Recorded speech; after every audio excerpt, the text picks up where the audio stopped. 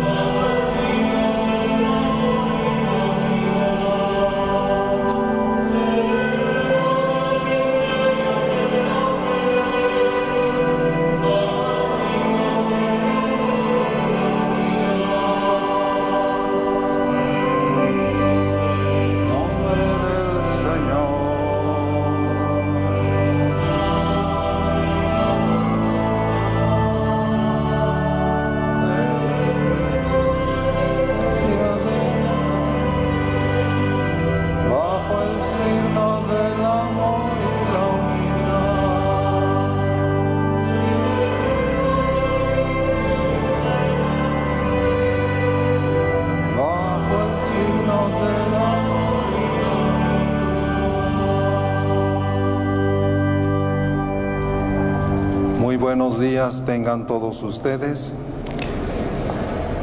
Agradecemos esta maravillosa oportunidad que Dios nos concede de poder celebrar este vigésimo segundo domingo del tiempo ordinario. Algunos ya aquí presentes, otros desde casa, otros a través de la radio.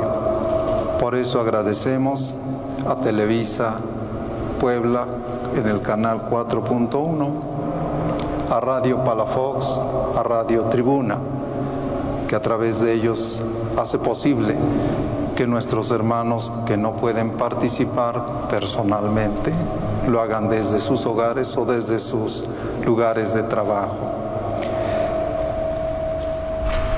Vamos a ofrecerle al Señor nuestro corazón sincero para manifestarle que deseamos escuchar vivamente su palabra y ponerla en práctica. En el nombre del Padre y del Hijo y del Espíritu Santo, la gracia de nuestro Señor Jesucristo, el amor del Padre y la comunión del Espíritu Santo estén con todos ustedes para que celebremos dignamente estos sagrados misterios, vamos a reconocer con humildad que somos pecadores, que de muchas formas le hemos fallado al Señor, pero también como iglesia, como un pueblo unidos en un espíritu fraterno, pidamos también perdón por los pecados del mundo, por aquellos que no temen a Dios ni respetan al prójimo. Diciendo, yo confieso ante Dios Todopoderoso y ante ustedes hermanos, que he pecado mucho de pensamiento, palabra, obra y omisión, por mi culpa, por mi culpa, por mi gran culpa. Por eso ruego a Santa María, siempre Virgen, a los ángeles, a los santos y a ustedes hermanos que intercedan por mí ante Dios nuestro Señor.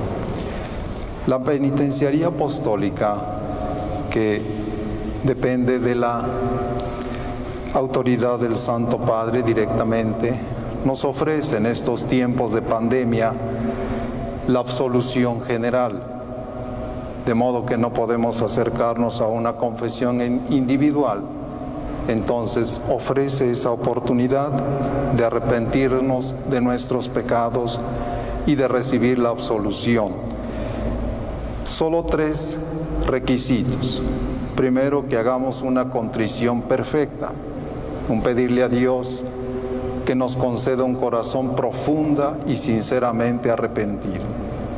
Segundo, que tengamos una petición sincera de recibir ese perdón. Queremos ser perdonados. Y tercero, cuando haya oportunidad, cuando haya pasado esta contingencia, acercarse a la confesión individual. Voy a hacer la absolución y con, mucho, con mucha fe, con mucho arrepentimiento reciban. Dios Padre misericordioso que reconcilió consigo al mundo por la muerte y la resurrección de su Hijo y derramó el Espíritu Santo para la remisión de los pecados, te conceda por el ministerio de la Iglesia el perdón y la paz y yo te absuelvo de tus pecados. En el nombre del Padre y del Hijo y del Espíritu Santo. Amén. Y también le recordamos que en casa los que no pueden participar pues pueden recibir esta absolución y hacer su comunión espiritual. Los que están aquí presentes, los que tengan conciencia de que aún pasando la contingencia no pueden acudir a la confesión ni a la comunión, pues entonces se van a abstener de comulgar en, estos, en esta Santa Misa, precisamente por respeto, por amor a Dios y porque sabemos que nuestra situación nos lo impide. Dios Todopoderoso tenga misericordia de nosotros, perdone nuestros pecados y nos lleve a la vida eterna.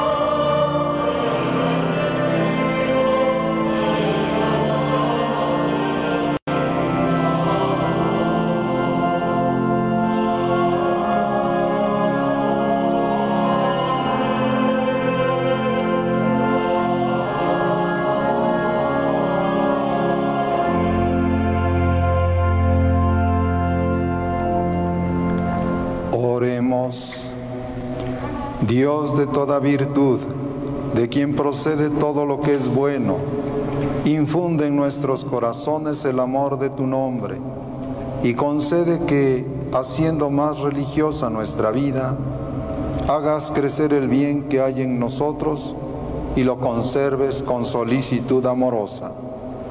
Por nuestro Señor Jesucristo, tu Hijo, que contigo vive y reina en la unidad del Espíritu Santo y es Dios por los siglos de los siglos, pueden tomar asiento, vamos a escuchar con atención la palabra de Dios.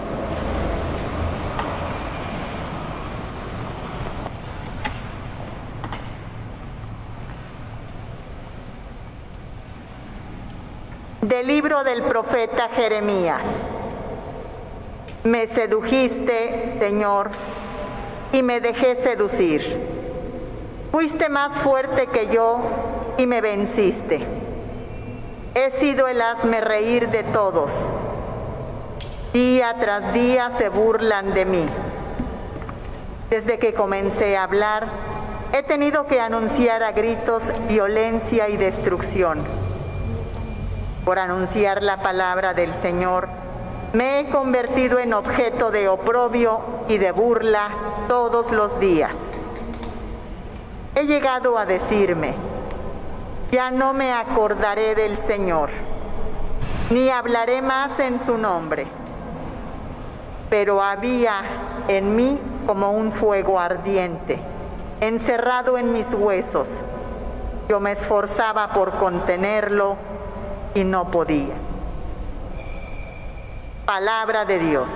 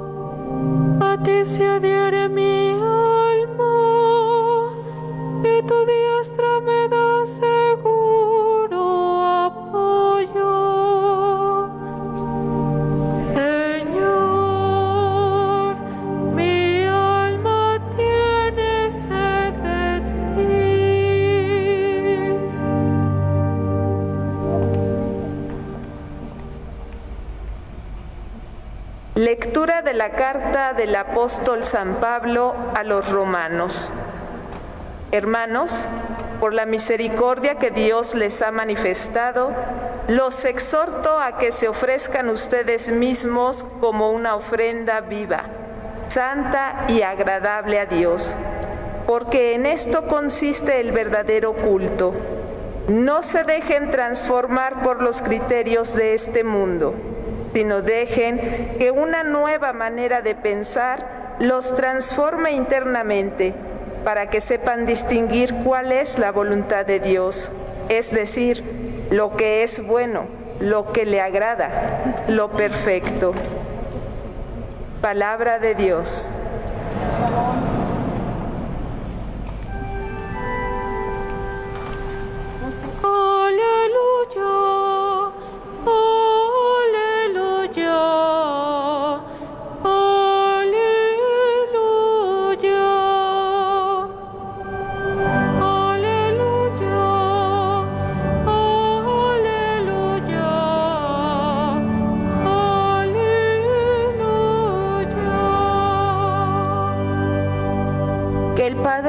Nuestro Señor Jesucristo ilumine nuestras mentes para que podamos comprender cuál es la esperanza que nos da su llamamiento.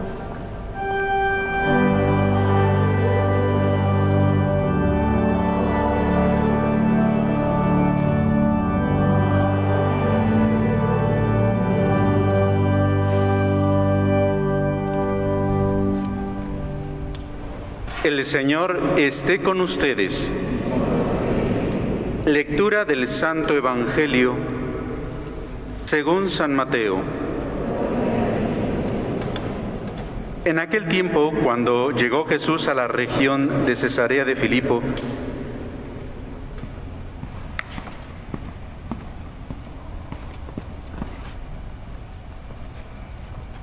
En aquel tiempo comenzó Jesús a anunciar a sus discípulos que tenía que ir a Jerusalén para padecer allí mucho de parte de los ancianos, de los sumos sacerdotes y de los escribas, que tenía que ser condenado a muerte y resucitar al tercer día. Pedro se lo llevó aparte y trató de disuadirlo diciéndole, no lo permita Dios, Señor, eso no te puede suceder a ti. Pero Jesús se volvió a Pedro y le dijo, Apártate de mí, Satanás, y no intentes hacerme tropezar en mi camino, porque tu modo de pensar no es el de Dios, sino el de los hombres. Luego Jesús dijo a sus discípulos, El que quiera venir conmigo, que renuncie a sí mismo, que tome su cruz y me siga, pues el que quiera salvar su vida la perderá pero el que pierda su vida por mí la encontrará. ¿De qué le sirve a uno ganar el mundo entero si pierde su vida? ¿Y qué podrá dar uno a cambio para recobrarla? Porque el Hijo del Hombre ha de venir rodeado de la gloria de su Padre, en compañía de sus ángeles, y entonces le dará a cada uno lo que merecen sus obras. Palabra del Señor. Gloria a ti, Señor Jesús.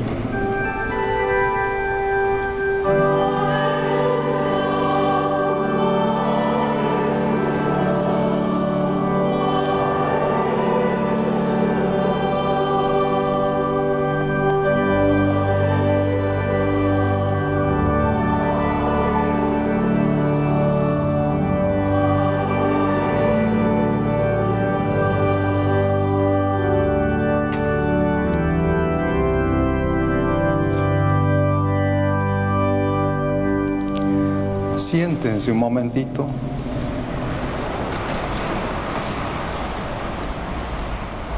Queridos hermanos y hermanas, nos hemos reunido en este vigésimo segundo domingo del tiempo ordinario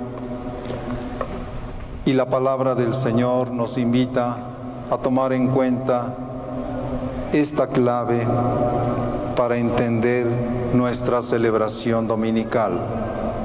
Dice el Señor, el camino de la felicidad plena y de la vida es a partir de la cruz. Para nosotros entender este mensaje resulta un poquito complejo, pero el Señor nos va indicando qué es lo que tenemos que hacer para comprender este proyecto de Dios.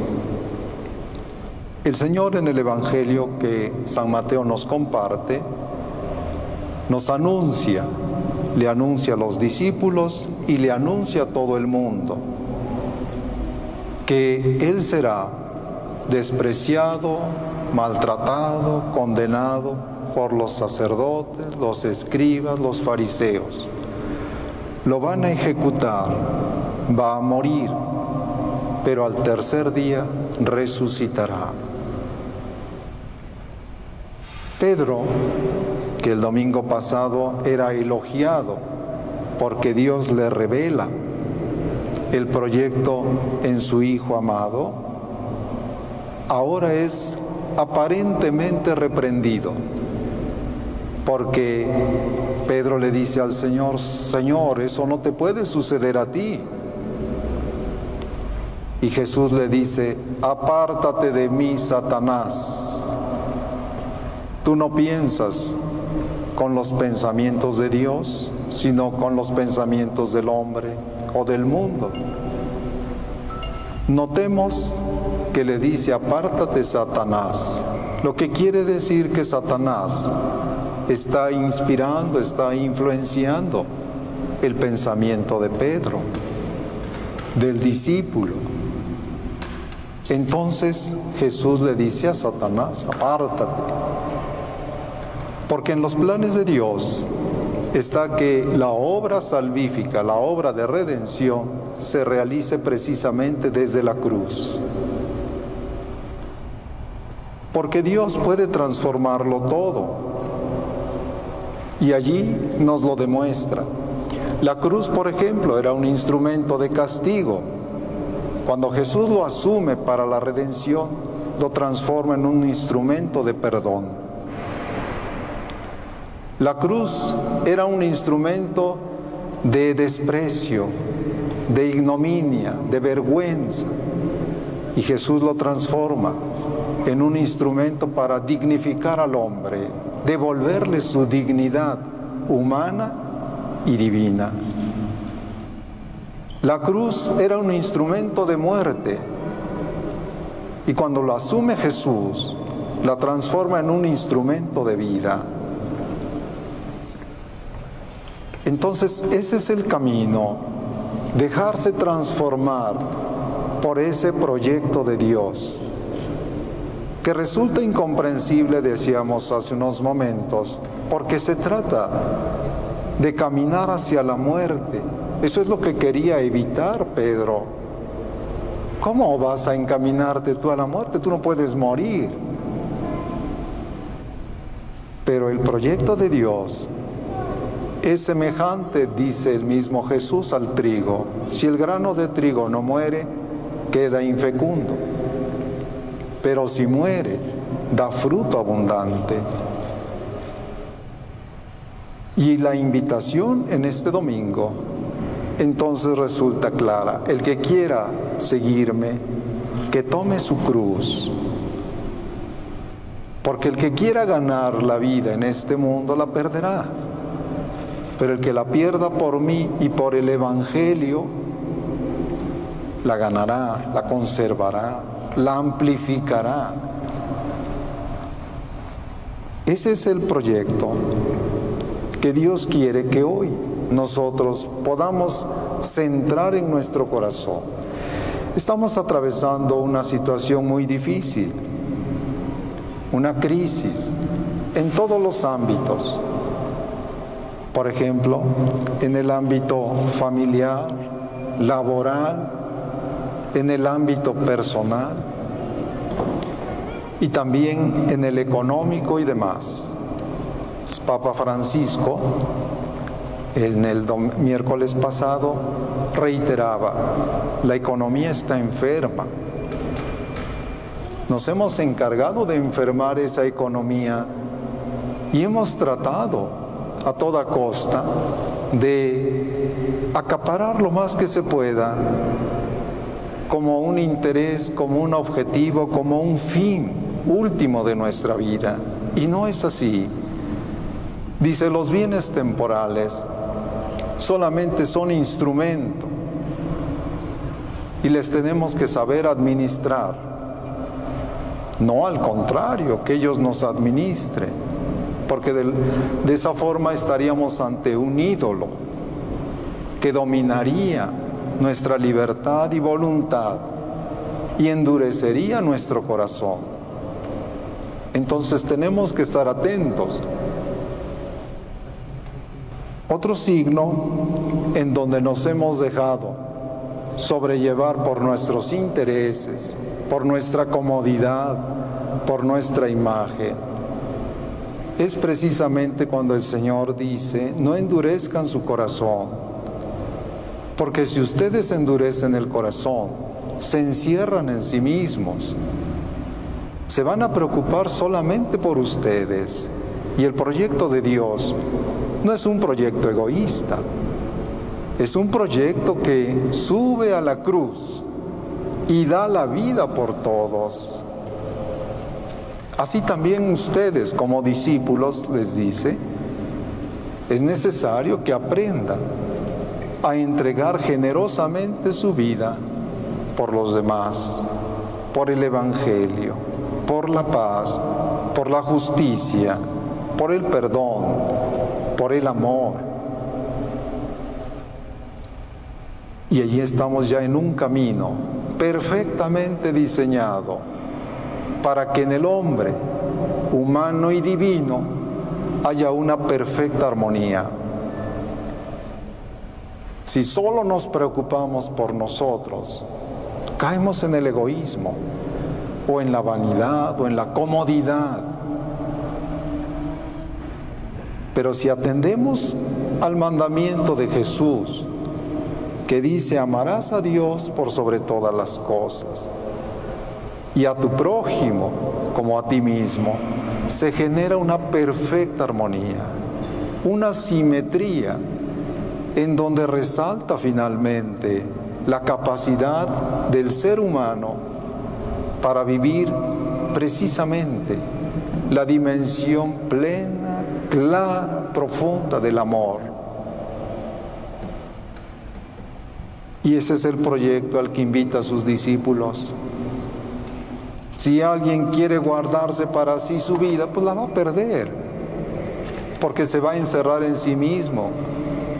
Y dentro de ustedes, pues se van a empobrecer y van a impedir que la vida fluya.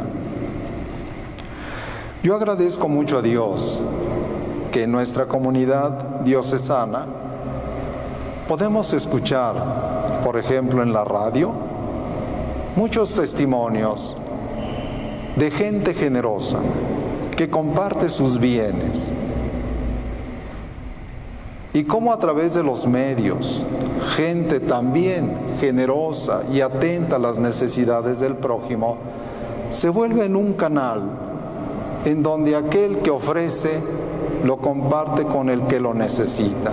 Y el que está en medio anima a los demás para que vivamos esa generosidad, ese espíritu de justicia.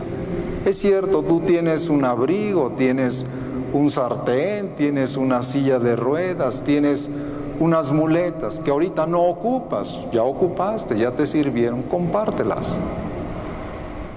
Eso significa subir a la cruz. O en la vida ordinaria, ustedes, ¿cuánta gente han visto, conocen esos testimonios silenciosos de una vida netamente cristiana?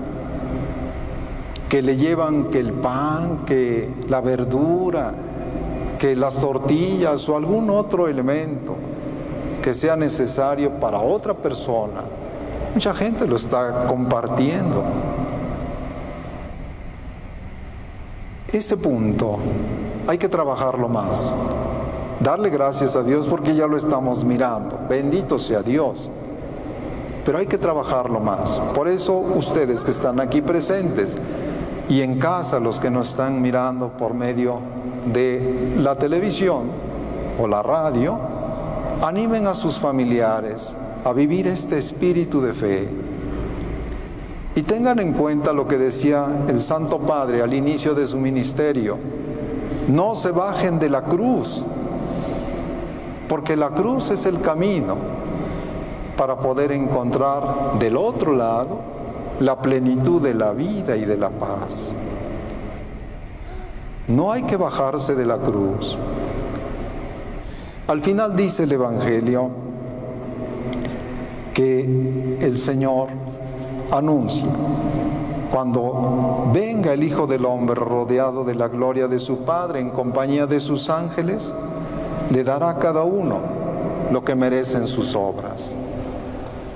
Vamos a pedirle al Señor que por intercesión del Beato Juan de Palafox y Mendoza y también del Padre Yermo, un apóstol de la caridad, que nos ayuden a vivir este seguimiento de Jesús, que no tengamos miedo, sino que confiemos en que el camino de la cruz es el camino de la plenitud de la vida y de la paz. Que así nos lo conceda el Señor.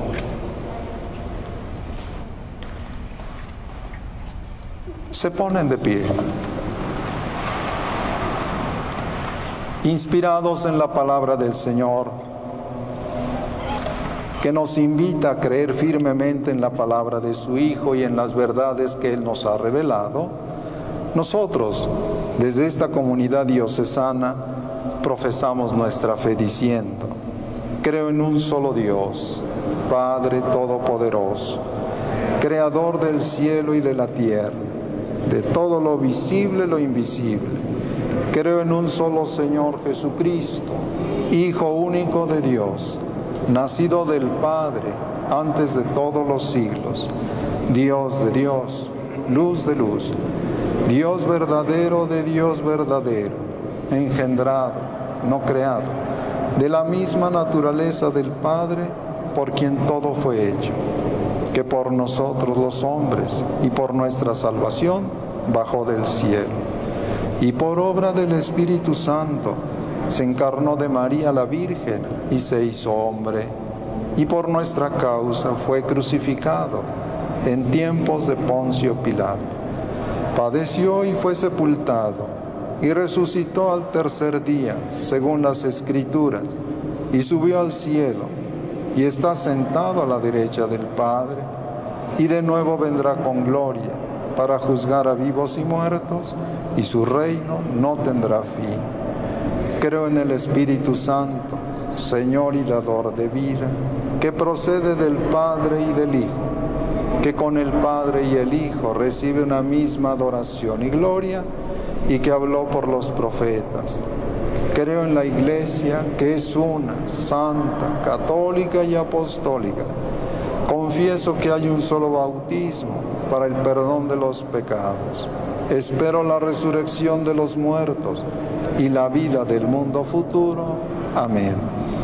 Ahora vamos a elevar a Dios nuestras plegarias para suplicarle por cada uno de ustedes, cada uno de nosotros.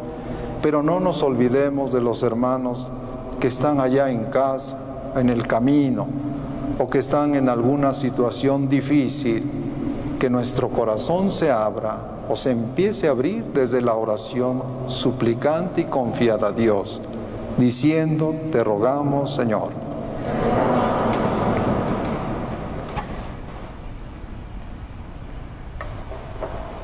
Tengamos presente, hermanos, en nuestras oraciones a la Iglesia Santa, Católica y Apostólica, para que el Señor la haga crecer en la fe, la esperanza y la caridad.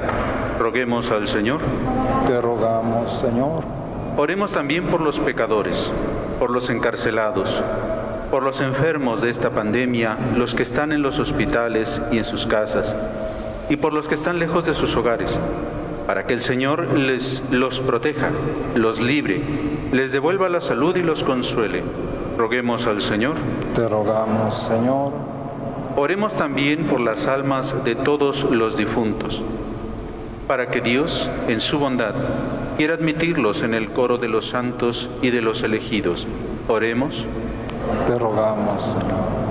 Pidamos también por los que nos disponemos a celebrar la Eucaristía, para que el Señor perdone las culpas de los que vamos a participar en sus sacramentos.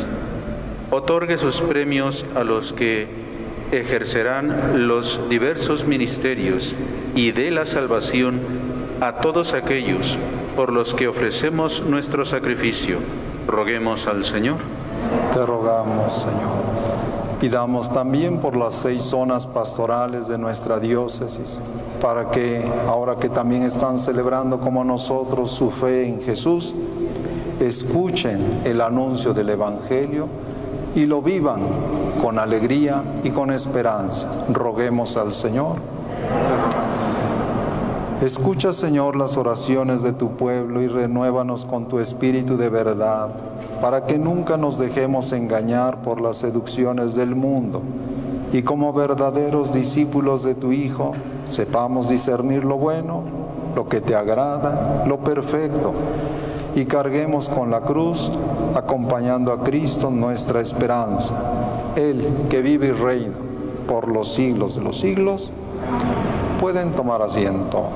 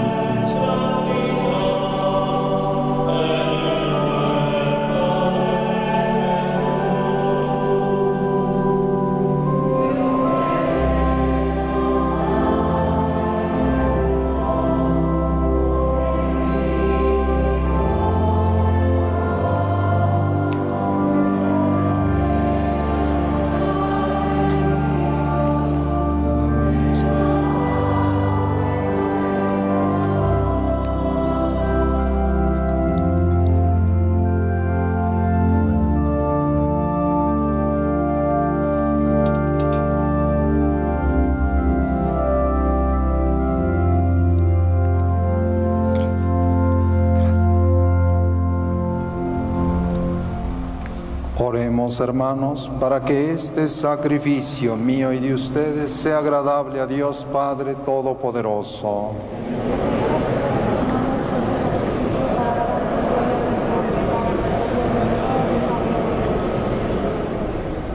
Que esta ofrenda sagrada, Señor, nos traiga siempre tu bendición salvadora, para que dé fruto en nosotros lo que realiza el ministerio por Jesucristo nuestro Señor. El Señor esté con ustedes. Levantemos el corazón. Demos gracias al Señor nuestro Dios. En verdad es justo y necesario, es nuestro deber y salvación darte gracias siempre y en todo lugar, Señor Padre Santo, Dios Todopoderoso y Eterno, por Cristo Señor nuestro, quien compadecido del extravío de los hombres, quiso nacer de la Virgen María, muriendo en la cruz, nos libró de la muerte eterna y resucitando de entre los muertos, nos dio vida eterna. Por eso con los ángeles y los arcángeles, con los tronos y dominaciones, y con todos los coros celestiales cantamos sin cesar el himno de tu gloria.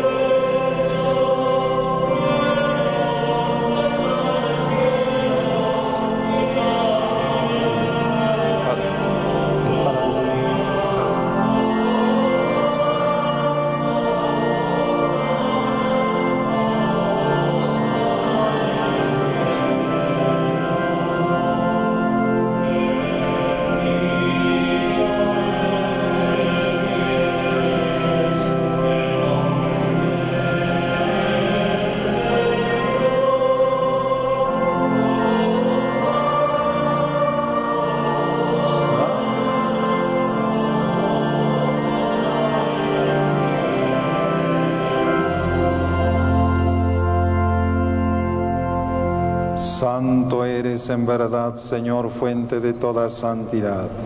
Por eso te pedimos que santifiques estos dones con la efusión de tu Espíritu, de manera que se conviertan para nosotros en el cuerpo y la sangre de Jesucristo nuestro Señor, el cual, cuando iba a ser entregado a su pasión voluntariamente aceptada, tomó pan, dándote gracias, lo partió y lo dio a sus discípulos diciendo, tomen y coman todos de él, porque esto es mi cuerpo que será entregado por ustedes.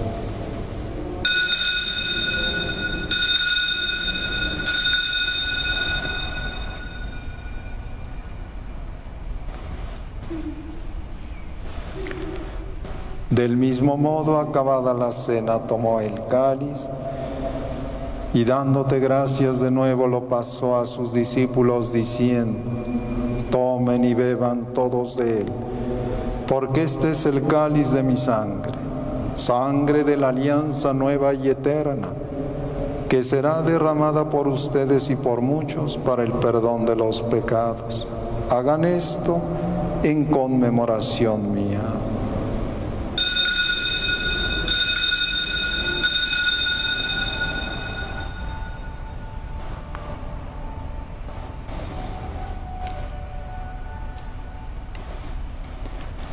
Este es el misterio de nuestra fe.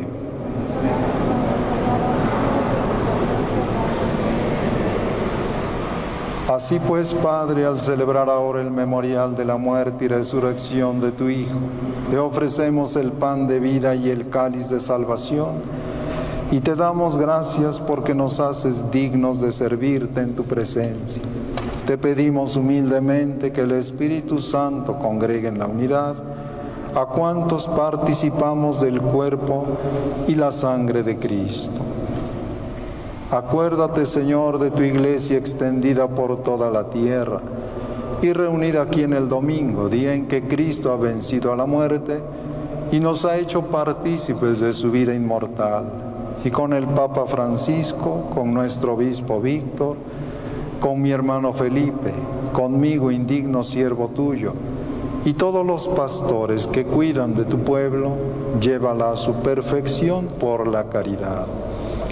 Acuérdate también de nuestros hermanos que se durmieron en la esperanza de la resurrección, de tus hijos, el padre Froilán Ramírez Espinosa, que el Señor llamó ayer a su presencia, Agustín Rodríguez Pastrana, Miguel Rodríguez Ortega, Esteban Hernández Rodríguez, Luciano Rosas Martínez, José Antonio Salazar León, y de todos nuestros familiares, conocidos, bienhechores y adversarios ya difuntos. Y de todos los que han muerto en tu misericordia, admítelos a contemplar la luz de tu rostro. Ten misericordia de todos nosotros, especialmente por la familia Nájera Velasco, por la salud de Carlos Cid Pérez, la salud de las familias Rodríguez Soto, Rodríguez Flores, Herrera Rodríguez, por la salud de Maribel Herrera, por 70 años de vida del señor Guadalupe Flores Persino, en acción de gracias de las trillizas María Fernanda, María Bernarda, María Alejandra Bernal, por la salud del doctor Juan Pérez, Juan Carlos Pérez Toriz, familia Pérez Toriz, y también supliquemos por la salud y pronta recuperación del Padre Víctor Castillo de Onate. Y así con María la Virgen, Madre de Dios, su esposo San José, los apóstoles y cuantos vivieron por, en tu amistad a través de los tiempos, merezcamos por tu Hijo Jesucristo compartir la vida eterna y cantar tus alabanzas por Cristo, con Él y en Él. A ti Dios Padre Omnipotente, en la unidad del Espíritu Santo, todo honor y toda gloria por los siglos de los siglos, llenos de alegría por ser hijos de Dios. Digamos la oración que Jesús nos enseñó. Padre nuestro que estás en el cielo santificado sea tu nombre, venga a nosotros tu rey, hágase tu voluntad en la tierra como en el cielo. Danos hoy nuestro pan de cada día. Perdona nuestras ofensas, como también nosotros perdonamos a los que nos ofenden. No nos dejes caer en la tentación y líbranos del mal. Líbranos, Señor, de todos los males y concédenos la paz en nuestros días, para que, ayudados por tu misericordia, vivamos siempre libres de pecado y protegidos de toda perturbación, mientras esperamos la gloriosa venida de nuestro Salvador Jesucristo. Señor Jesucristo, que dijiste a tus apóstoles, la paz les dejo, mi paz les doy. No tengas en cuenta nuestros pecados, sino la fe de tu iglesia, y conforme a tu palabra, concédele la paz y la unidad. Tú que vives y reinas por los siglos de los siglos, que la paz del Señor esté siempre con todos ustedes. Como hijos de Dios, nos damos fraternalmente la paz.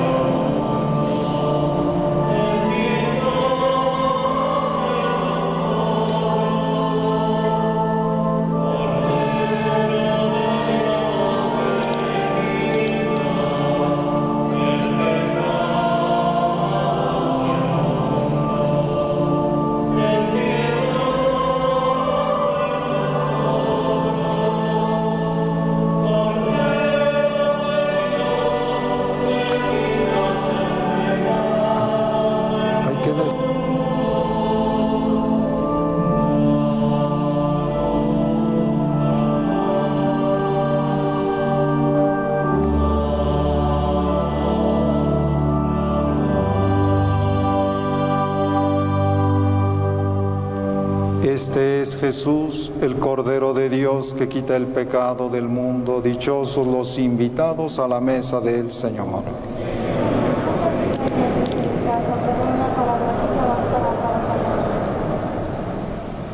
La distribución de la Sagrada Comunión se hará en dos lugares aquí en la catedral, aquí en el pasillo central. Entramos por las puertas traseras, salimos por las delanteras. Y a mi mano derecha, a la altura de la capilla de Nuestra Señora de Guadalupe, habrá otro ministro distribuyendo la Sagrada Comunión. La Sagrada Comunión se dará en la mano por prescripciones sanitarias. Les pedimos que por favor se quiten el cubrebocas antes de que les proporcionen el alcohol en gel y comulguen frente al ministro para evitar cualquier riesgo de profanación o sacrilegio.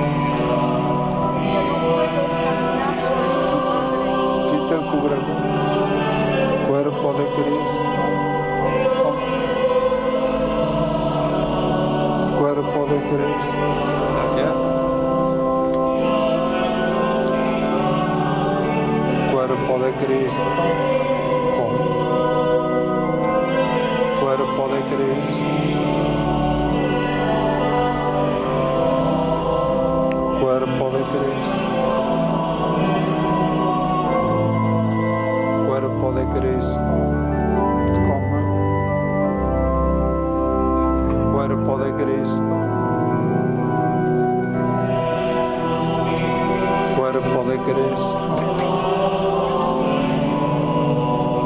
Cuerpo de Cristo. Cuerpo de Cristo.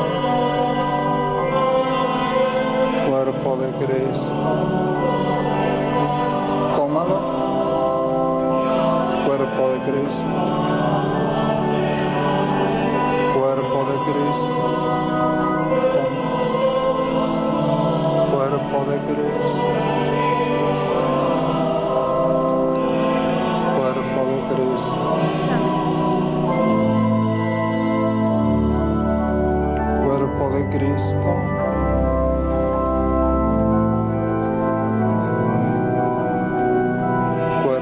Cristo. Cuerpo de Cristo. Cuerpo de Cristo. Cuerpo de Cristo. Cuerpo de Cristo. Cuerpo de Cristo. Cristo. Cuerpo de Cristo. Cuerpo de Cristo. Amén. Cuerpo de Cristo,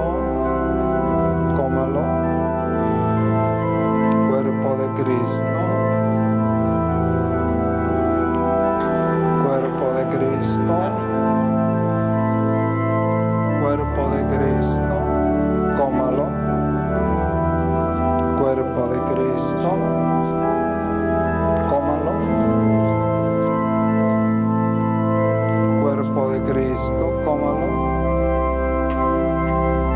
Cuerpo de Cristo, cómalo. Cuerpo de Cristo, cómalo, cómalo.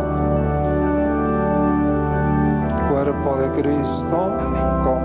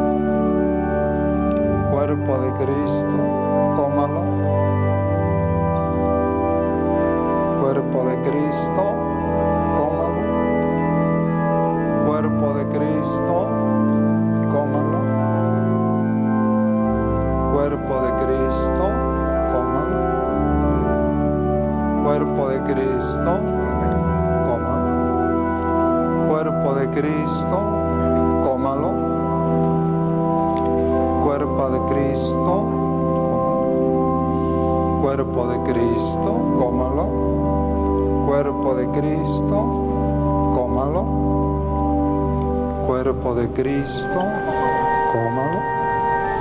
Cuerpo de Cristo, cómalo. Cuerpo de Cristo, cómalo. Cuerpo de Cristo. Nos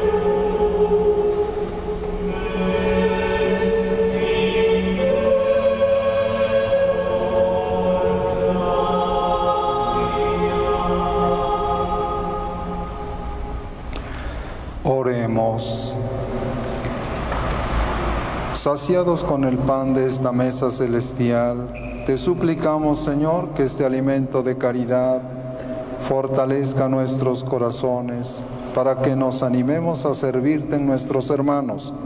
Por Jesucristo nuestro Señor. Ahora pido a Dios que les bendiga. Ustedes reciban esta bendición y en casa, cuando lleguen con sus familiares o los que están allá en casa, compártanlo con sus hermanos. El Señor esté con ustedes. Sea bendito el nombre del Señor. Nuestro auxilio está en el nombre del Señor.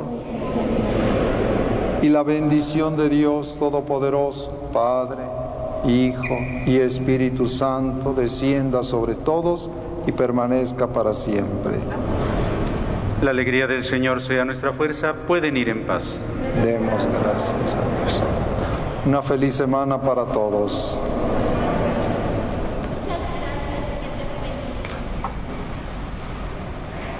Pasó, Señor.